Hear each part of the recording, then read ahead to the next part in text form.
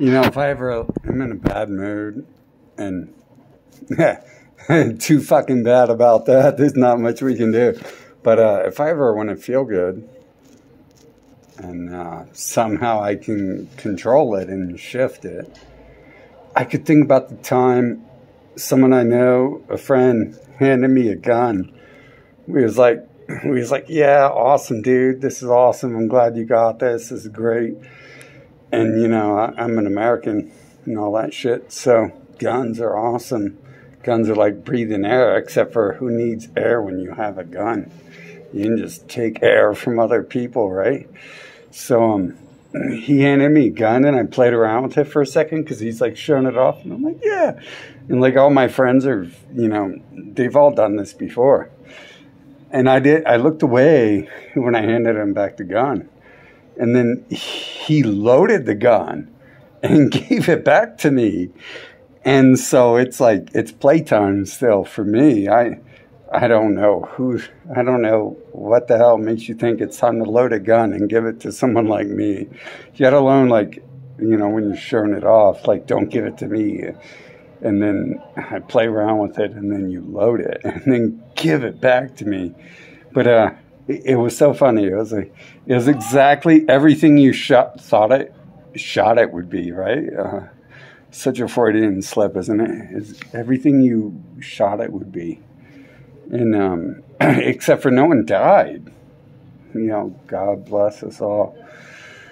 No one died. So I, I, I think of that every now and then. I'm like, that's like one of the funniest things I've ever seen. Like, there's so much stuff in my life that's so extreme, and it's and, and so funny. And like, really, you have to reach this level where you load a gun and give it to me, and then something happens. We, you know, I'll let your imagination figure out whatever's happening.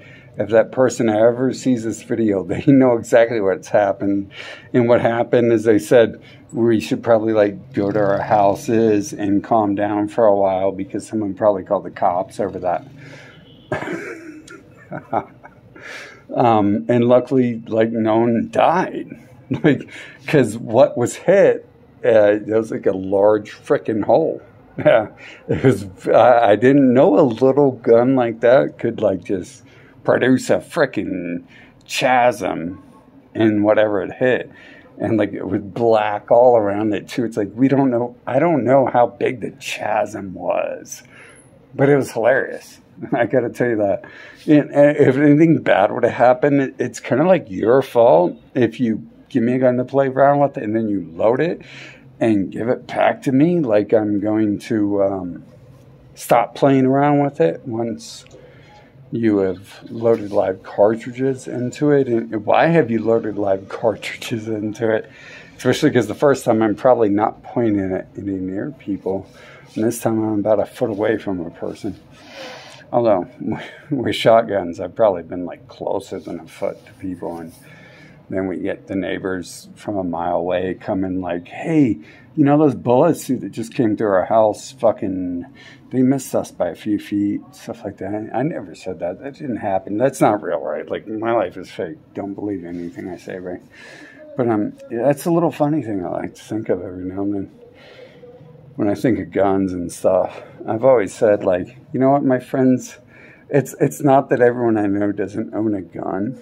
It's that they don't want to sell me guns. They never thought it'd be a good idea to be like, hey, here's a gun for you, dude, because you're you're just gonna like never use it and keep it under your car seat. And I think of um, also when I say that, when I was in Portland and this robber came up to me and and two robbers, they thought they was tough guys and they're like like escalating it quickly. They're like, You got a gun? Like they asked that I think first and then so I'm like reaching over into my side console after they get a little aggressive and they like jump like a foot and start running. And it's like, I didn't have a gun, dude. Trust me. Like, what I'm going to do to you is like a gun would make your life fucking end peacefully. fucking, I didn't have a gun. You don't have to run away from me like that. That would have taken me a few seconds to pull out what I had. I had a fucking like 24 inch blade and shit. So, I mean, you could have like easily avoided that. But I, I think of all these little things, and it's like it's so amusing. Some of the stuff I get involved in, and it's like it's so crazy, and it's like some shit you never see on TV. Like every second of it, I I'm not even proud of it. Like as a child, the shit I did, you can't put that on TV. If we would have recorded that, we'd be in fucking prison for 34 lifetimes or something.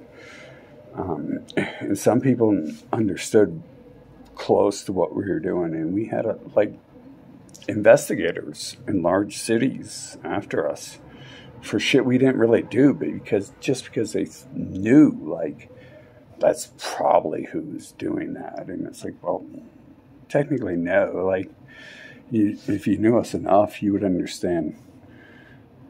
You didn't know. You didn't have any proof. If, if you thought we were doing something, then that was someone else. But they they were like just smart enough to understand that they should have had a whole fucking task force on us. And I think of all this shit sometimes, and it's just like sometimes it's just so funny. Like no matter what bullshit I deal with, it's it's fucking awesome to think of some of this shit. And it's like I didn't get paid like twenty billion dollars for making a, a Hollywood spectacular out of my life for the things we've done, but you can't do that. Like um, you can't do that on television. When I was a kid, there was a show called "You Can't Do That on Television," and I swear it's like one of those things that prefaced what I was already doing in life. E- even as a, a six-year-old, four-year-old that was like a foot and a half tall. Man, some of those things were.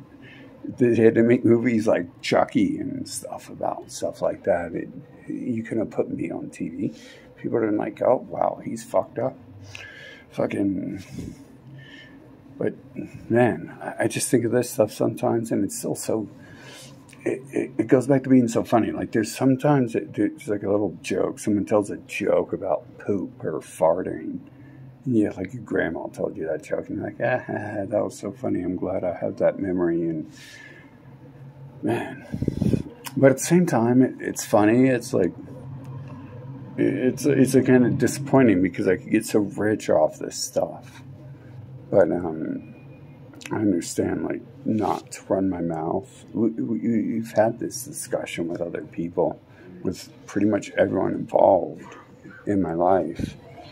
We've had this discussion, like even when we talk to other people about what we do, they don't believe it, and, and that so expands into what's going on today for me. I am. People probably think I've just went off the deep end, and it's like well, I mean, I did, but I'm like, I'm down at the bottom, like trying to uh, breach the freaking the floor of the ocean and find out what's below the floor of the ocean because no one's figured that out yet. And so yeah, I, went off the deep end. hell, I, I set four I set C4 charges on the boat to blow it up. And there's no one else down there. No one even knows I went off the deep end uh, realistically, because I blew the boat up and I swam to the bottom. Uh, but I'm still down here learning to breathe in liquid like the fish do, swimming with the fishies. But it, all this stuff, like, man, maybe they'll show you guys some days. It makes me wonder what I've seen in 2020, how many of you actually were involved in this stuff to begin with. And it's like, wow, you guys like you guys like see all that stuff and you still talk to me. That's crazy. Um, but yeah, like, it's it's so funny. I think of that a lot of times. That was like a pretty cool gun story. Like that's like a really American gun story. And I didn't tell you how it ends. So fill in the blank. You know how you want.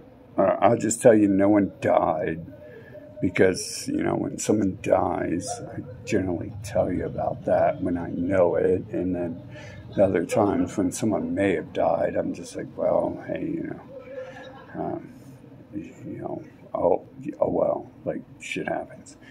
And uh, other times the media will tell you maybe a bunch of other people might have died. And it's like well link it all together freaking But um, no one died that I know of that day, unless you think like material goods are just the same as humans, and that's another discussion. But that was pretty interesting how that ended up, and I always think of that like when I'm in a bad mood, and it's just so fucking hilarious.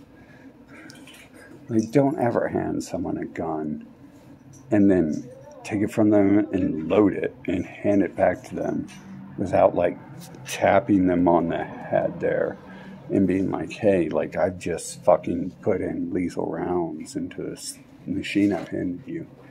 Because shit could happen and has happened. And we're all lucky we're alive after that situation.